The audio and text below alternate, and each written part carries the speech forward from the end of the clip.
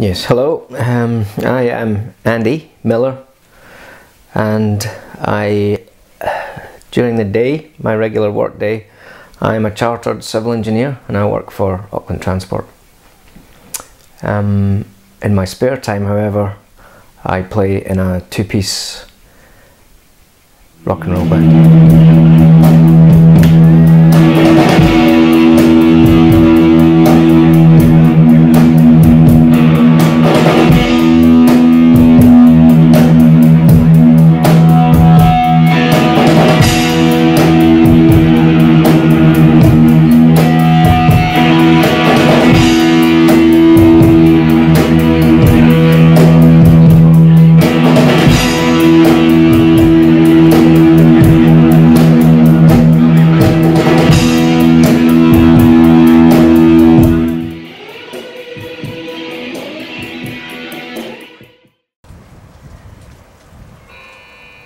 I've, I've played in bands overseas and uh, and in New Zealand um, quite uh, extensively, and I uh, after finishing with a six-piece band, I started concentrating on playing solo music, and uh, which was lots of fun, but the um, the pressure of playing solo music is really quite uh, it's quite high uh, on stage and it's enjoyable. Um, but for the material that I was doing um, I wanted to bring in some kind of rhythm section and uh, started to think about a drummer. And um, that's when I approached my friend Martin, Robot Man, Beat Man, Horspool and uh, asked him if he would uh, if he would drum because I knew that Martin was a drummer in excuse me AK Samba. Um, he was uh, a little bit reticent to begin with, um, but I twisted his arm and um, he immediately started to enjoy it, and um, and we got just a few tracks under our belt, and it became huge fun. And it's the most fun I've ever had playing in a band, really, ever. I made my first cigar box guitar um, which is hanging on the wall, and um, and and it worked really quite well. It, took me by surprise, and so I made another one and added to that, and learned you know added uh, um, additional bits and pieces and um, improved on the on the next instrument by uh, learning from the mistakes um, that I made working on the first one.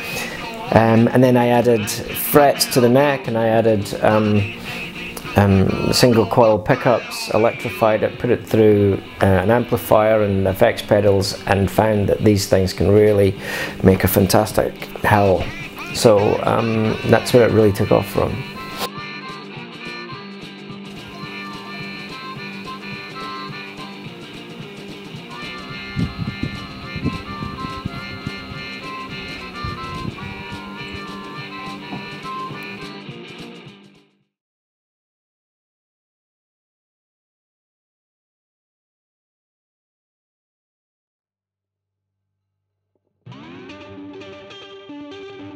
Okay, yeah, yeah, my name's Martin Horspool, and uh, yeah, I play percussion and occasionally bass with Durty Murder.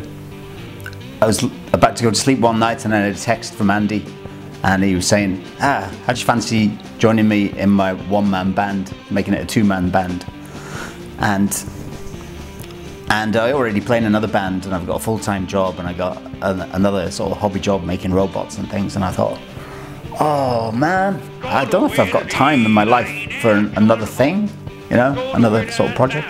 And then uh, within about half an hour, I said, well, I'm a bit busy, you know, uh, maybe I'll sleep on it.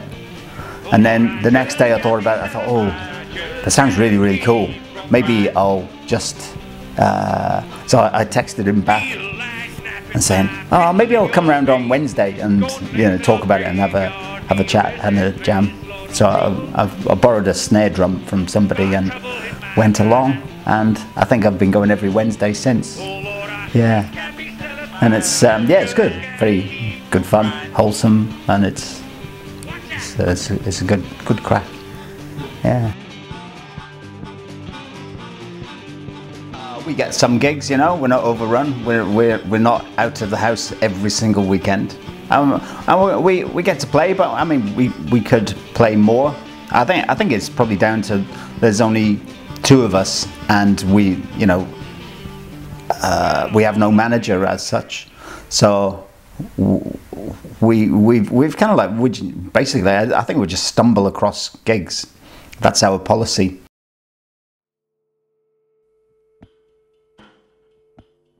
We've gigged more this year than than we did uh, really a great deal last year. Um, it, it's becoming harder and harder to get um, to get gigs.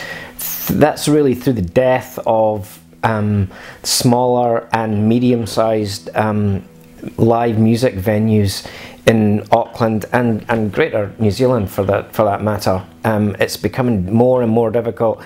Um, the, the audience is there. It's just the venues are are uh, are very difficult to to nail down. Um, there are lots of small places, but they're very they can be quite anxious about putting on live live music, um, whether it be through music uh, noise curfews and, and, and such like. It's an odd thing because we put so much effort into it, as all of my friends do, um, and I don't think uh, venue owners actually realise how much effort really goes in to uh, to having to put on a, a having a, a, live show. You know, we, we practice at least once a week, and there's transport of, of all of our gear. Um, we played a gig uh, about a month ago.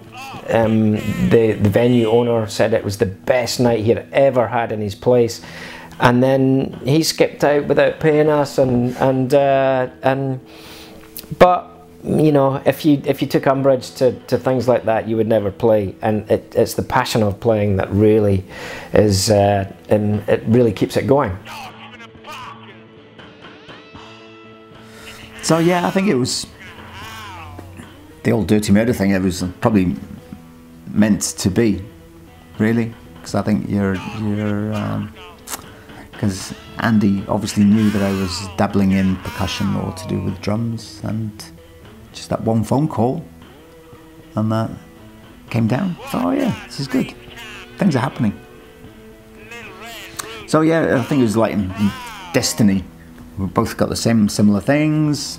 Motorhead, The Smiths, interested in music, and then hey, hey presto, this is it. This is it.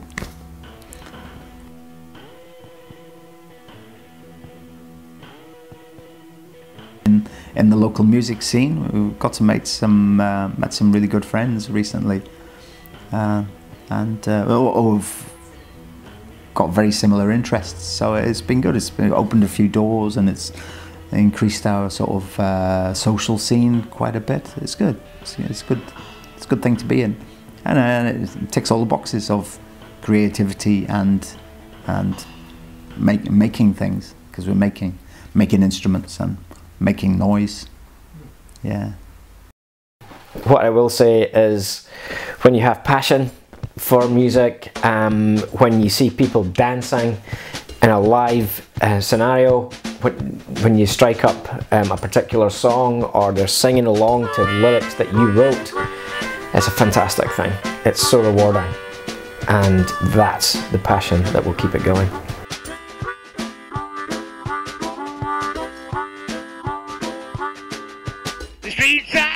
Are